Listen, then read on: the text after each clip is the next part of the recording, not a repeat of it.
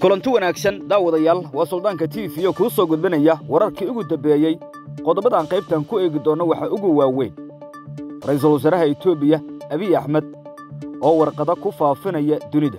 Isagoo leh waxaa ii heshiiye soomaaliya masar iyo sidoo kale eritreya abiy axmed oo farriimo u diray qaramada midoobay midowda afrika iyo dalal kala duwan kadib culays. Uusan xamili karin oo ka soo fuulay deriskiisa amxaaradii waxay la wareegeen degmooyin muhiim ah iyo sidoo kale dagaal qaraar oo dhacay goondhar iyo sidoo kale goojaam oo noqda labada gobol ee abiy axmed lagu baray awoodda faano wararkii ugu dambeeyey waxaa cusub ayaan kuu soo gudbinaya barakicinta shacabka amxaarad ee caasimadda adis ababa oo xoogaystay iyo xiisadda oo cirka isku shareertay maxaa loo barakicinayaa shacabka amxaarad muxuuse yahay qorshaha dhulkan lala wareegayo. Maxaase ka jira in xubnaha? Amxaarada ka soo jeeda ee ka markaasi ku jira dowladda federaalka etoobiya ay abiy iyo sidoo kale iyagu foodda istareen. Wararkii ugu dambeeyey magaalada jigjiga maxaa ka cusub? Shirar aan loo kala kicin oo socda gobolladii degmooyinkii iyo sidoo kale ismaamulladii oo laga keenay guud ahaan guddoomiyaashii iyo sidoo kale ee cid walba lana keenay magaalada jigjiga caasimadda deegaanka iyo wararkii ugu dambeeyey doorashada somalilan ayaan eegi doonnaa cabdiraxmaan cerro iyo muuse biixi oo weli u muuqanaya inay ku loolamayaan awoodda somalilan qodobadaas ayaan ku faahfaahi doonnaa muuqaalkan daawadayaal waa talaado shan iyo tobanka oktoobar labada kun afar iyo labaatan. Aragtidiinna waa muhiim qaybta faallada nagula wadaag. Qodobkeenna koowaad ayaan ku bilaabayaa ra'iisul wasaaraha dalka etoobiya ayaa la leeyahay farriimo iyo warqado waaweyn. Ayuu u diray dalal kala duwan iyo sidoo kale ee ururo maxalliya isagoo qorshihiisu ay tahay waxaa lagu soo duulay etoobiya waxaa heshiiye masar soomaaliya iyo eritreya sidaa daraaddeed waa inaad ka jawaabtaan oo la cambaareeyo falalkaas. Waxaa sidaasi ku doodaya abiy. Kadib markii uu soo dhammaaday shirkii magaalada asmara ee dalka eritreya ku dhex maray saddexda madaxweyne ee soomaaliya eritreya iyo masar. Ra'iisul wasaaraha etoobiya wasaaraddiisa arrimaha dibadda wasiiru dowlaha ninka ugu magacaaban ayaa qoray warqado. Wuxuu u diray qaramada midoobey waxaa lagu sheegay in masar iyo eritreya ay hubaynayaan soomaaliya. Sidaa daraaddeed laga shaqaynayo in lagu duulo etoobiya wuxuu sidoo kale farriimo kala duwan u diray midowda yurub midowda afrika iyo sidoo kale dalal maraykanku uu ku jiro oo la leeyahay. Warqadaha uu u diro wuxuu ku sheegay in uu diyaar u yahay wadahadal laakiin isbahaysiga lagu wajahayo etoobiya uusan noqon karin mid sababeeya ama markaasi mid suuro geliya rabitaanka shacabka etoobiya iyo siyaasadda abiy uu ku howlgalayo abiy waxaa la leeyahay labadii maalmood ee ugu dambaysa hadda ma uusan ka nasan arrintan oo aragtidiisu waxa ay ahayd inuu ka jawaabo isbahaysigan. Isagoo u fahmay ama u arkay in duulaan iyo dagaal toosa.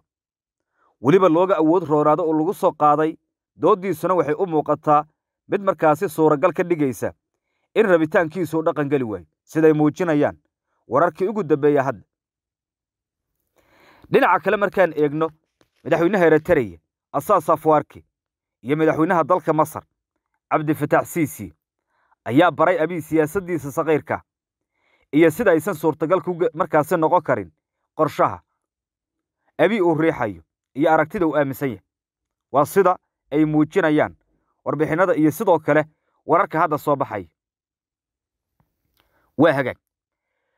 Dhinaca kale markaan eegno qodobkaasi waxay ku soo kordhaa waan eegi doonnaaye abiy waxuu leeyahay al-shabaab ayaa ka faa'iidaysanaya xiisadda soomaaliya saraakiisha sare ee maraykanka.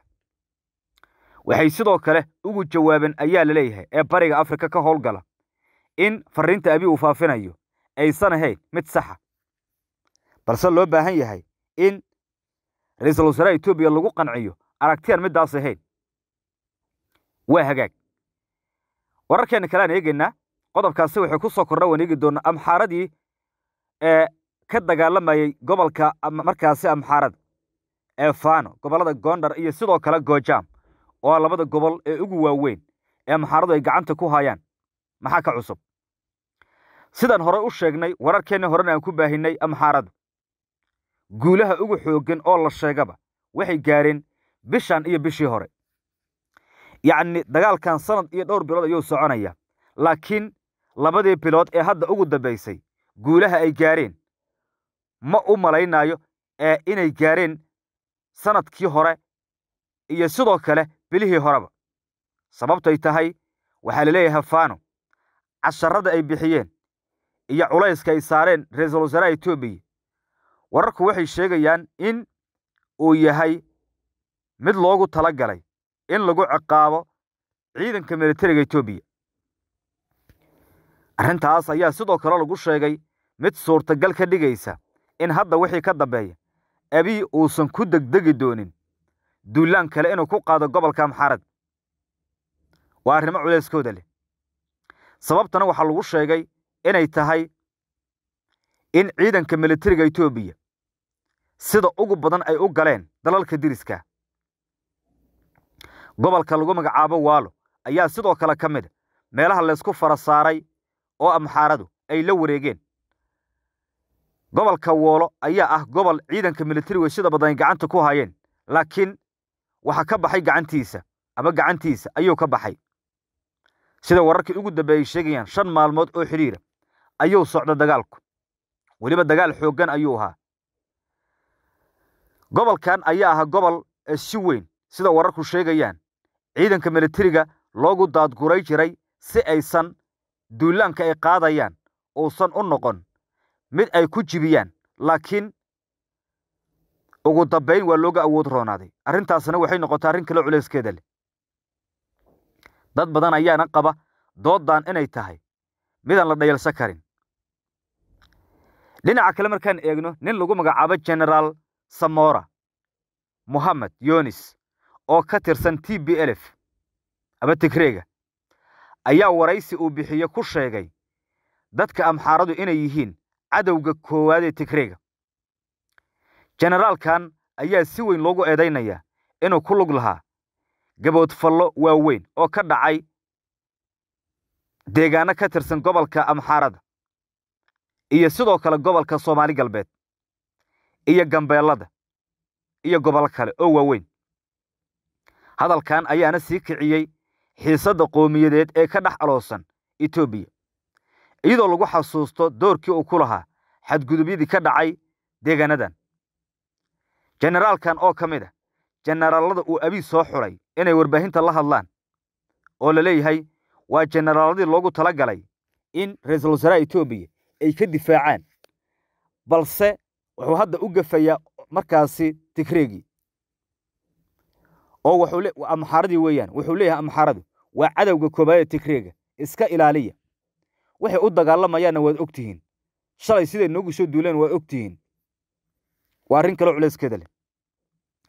Dhinaca kale jabhadda xoraynta oromada ee oola ayaa la soo warinayaa in ay iminka ku dhawaaqeen qariirado cusub oo ay ku lifaaqeen dhowr gobol oo kale ah shewa woolo iyo sidoo kale afar kenya gambeella ogaadeniya iyo inta badan gobollada koofureed arrintaas ayaa ah mid culayskeeda leh waxay daba socdaan sannadkii kun sagaal boqol toddobaatan iyo shantii warqado taageeraah oy u direen dalal iyo dukumentiyo oo muujinaya qariiradda oromada. Waa arrin kale oo xiisadda uga daraysa. Yacni waxay doonayaan warqaddaas hadda la helay ama markaasi dukumentigaas hadda la helay ooy ku qoran yihiin dhulka oromadu inuusan ahayn meesha hadda ay degan yihiin oo kaliya oo gobolka shawa uu ku jiro ogaadiniya uu ku jiro woola uu ku jiro sidoo kale gambeella ayaa ku jira afra kenya ayaa sidoo kale ku jira. Waa gobollo la leeyahay markaasi oromadu inay qabsadaan ayay hadda doonayaan. Arrintaasi waxaa la dhihi karaa waa arrin kaloo dagaal hurinaysa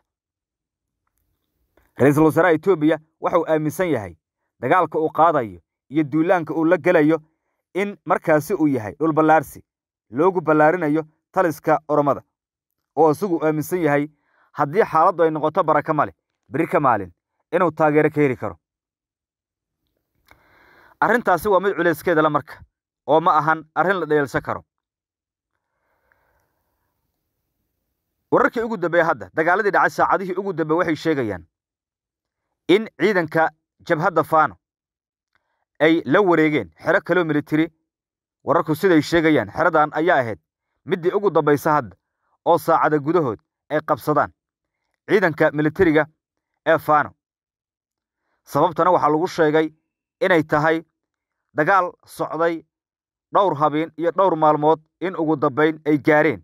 Natiijadii ugu dambaysay wallow qorshaha ugu weyn ee amxaaradu ay tahay inay la wareegaan caasimadda adis ababa ee etoobiya haddana ma suuragelaysaa la leeyahay qorshahan hadda ay wadaan in si deg dega loogu guulaysto sababtu maxay tahay? Sababtu waa in la laba jibaaro dagaalka. Waaya dhinaca kalean eegaynaa caasimadda adis ababa. Wararkeenni hore waxaan ku sheegnay barakacinta shacabka amxaarada ee adis ababa inuu xoogaysanayo iyo xiisaddan oo cirka isku shareertay su'aashu waxay tahay maxaa loo barakicinayaa shacabka amxaarada muxuuse yahay qorshaha dhulkan lala wareegayo?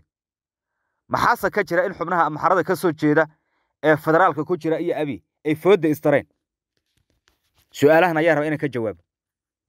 Horay ayaan u baahinay laba boqol oo kun oo qoys oo amxaaraa in laga raray guryahooda oo laga saaray ilaa iyo hadda risin dhaba oo la og yahay oo sababta looga saaraa ma jiro. Inkastoo sharciga aba dastuurka dowladda etoobiya uu ku qoran yahay yacni dhulka si kastoo shakhsi uu u leeyahay haddii ay u baahato dowladda etoobiya way ka qaadan kartaa. Laakiin arrintaasi taas shaqo iskuma lahan. Oo laba boqol in ka badan ayaa la barakiciyo shacaba oo markaas amxaara dadka deggan caasimadda adis ababa etoobiya bobulashinka marka la fiiriyo baaritaan aan samaynay waxaan ku ogaanay yacni boqolkiiba lixdan iyo shan inay yihiin amxaaro. Dadka deggan caasimadda adis ababa. Ee afartan iyo shanta kale ayaa ah qowmiyadaha kale. Soomaalida tigreega canfarta oromada boqolkii afartan iyo shan waa inta kale. Laakiin boqolkiiba lixdan iyo shan caasimadda adis ababa dadka deggan waxaa naloo sheegay inay yihiin amxaarada. Waana xaafadaha ugu badan ee ku yaalla adis ababa. Waaye sida marka igu maqaalaa oo xogta igu soo gaarto aan ku maqlay dadka waa loo tegayaa warqadaa loo geynayaa muddo ah muddo kooban ah. Waxaa la leeyahay gurigan aad degganta waxaad ka dhistaa dabaq shan biyaano ah. Da waa qof saboola lacag ma haysataa loogu dari maayo ma awooddaa loogu dari maayo? Muddo ayaa loo qabanaya inuu ku soo jawaabo waa dhisi kara iyo ma dhisi kara ah. Weliba waa shan maalmood gudahood inuu ku soo jawaabo. Jawaabta markay celiyaan oo yidhaahdaan ma awooddo ma dhisi karno. Dabadaa laga gelinaya cagaf cagaf gurigaas. Dadkana waa laga saaraya. Dowladdaa la wareegaysaa lagu leeya marka. Halkaas risin ayaan haynaa hadda risin kale ma hayno. Dhinaca kale waxaa la leeyahay waxaa suuragala nacaybka iyo sidoo kale cadowtinimada amxarada loo qabo. In abi uu doonayo maadaama caasimadda adisaba majority ka yihiin inuu ka dhiga minority. Yaa cabsi qaba marka hadda waxaa cabsi qaba soomaali galbeed. Waxay leeyihiin barakicii dadkii la soo barakicinayey ayaa ku soo qulqulaya soomaali galbeed. Ilaa soomaaliya inay u soo gudbaana suuragala ilaa muqdisho ay yimaadaan. Kaniidaha waa kiniisadaha ortodhakiska ayaa hadda lagu soo dhoweynaya iyagoo taratarabu socda soomaali galbeed walaac weyna soo fuulay marka. Walaacaas waxay ku muujinayaan in dadkaas la soo barakicinayo oo boqolaalka kunoo shacaba ah inay soo geli karaan gobolkii soomaalida u soo gudbi karaan soomaaliya argagixisada ku biiri karaan dhibaatada ka qayb qaadan ka yacni waa halis aad u weyn. Arrintaasi marka waxay leeyihiin baaritaan dhaba iyo sidoo kale sababta abi arrintaasi uu u samaynayo in la ogaadaa muhiima dhinaca kale waxa farageliya arrintaana la leeyahay xubnaha federaalka ee ka soo jeeda amxaarada ee dadkaa matelaya laakiin kuma guulaysan. Iyaga iyo abi dhowr kulan ayay yeesheen foodday istareen kuma guulaysana la leeyahy arrimahaas waa arrimo culayskooda leh oo u baahan laga jawaabo iyo sidoo kale in il gaara lagu hayo. Waaya wixii ku soo kordhasa. Waan idiin soo gudbi doonnaa. Dhinaca kalean eegaynaa. Jigjiga maxaa ka cusub magaalada jigjiga caasimada deegaanka soomaalida shirar xooggan oo aan loo kala kicin oo jilbaha leysku aastay ayaa socday toddobaadkan. Ilaa toddobaadka soo socdana waa socon doona. Waxaa loo yeeray guud ahaanba guddoomiyaashii degmooyinka guddoomiyaashii gobollada guddoomiyaashii maamul magaala markaasi magaaleedyada ayaa laysugu yeeray. Sababta laysugu yeeray maxay taha shirkaanay ka qayb galayaan. Degmooyinka dowlad deegaanka soomaalida waa sagaashan iyo saddex degmo sagaashan iyo saddexdaas degmo ee u dawaan gashan deegaanka soomaalida waxaa loo yeeray sagaashan iyo saddexdii guddoomiye ee degmooyinkaasi guddoomiyaasha ka ahaa. Waxaa laysuu keenay magaalada jigjiga ee caasimadda deegaanka soomaalida gobollada soomaali galbeed waa koo iyo toban gobol. Koo iyo tobankii guddoomiyaa loo yeeray sidoo kale. Sidoo kale waxaa loo yeeray lix maamul magaalo raggii markaasi maamulka ka ahaa. Lixda maamul magaalo raggii maamulka ka ahaa ayaa loo yeeray waxaa laysuu keenay jigjiga. Jigjiga waxaa jooga xubnaha federaalka ku matelaya deegaanka soomaalida. Ayaa ku sugan jigjiga kama bixin ilaa hadda sababtay u imaadeen marka waa laba ajande. Kow fulinta fariin abii uu wato in markaasi la fuliyo. Labo ee qodob kale oo ku saabsan soomaalidu maadaama hadda la baraarugay la ogaado waxaa jira bal in markaan laga jawaabo waxaa la gudboon soomaali galbeed. Intaas iyo in kaloo qarsoon ayaa jira. Inta qarsoon ayaa sa badan oo ku saabsan arrintan. Wixii ku soo kordha daawadayaal waan kuu soo gudbinayaa dib aan ka faahfaahi doonnaa wararkeena dambaan ku eegi doonaa inala jooga ku soo biira suldaanka t v sheergareya muuqaaladan soo dhowaada qaybtaanna halkaan hanoo joogto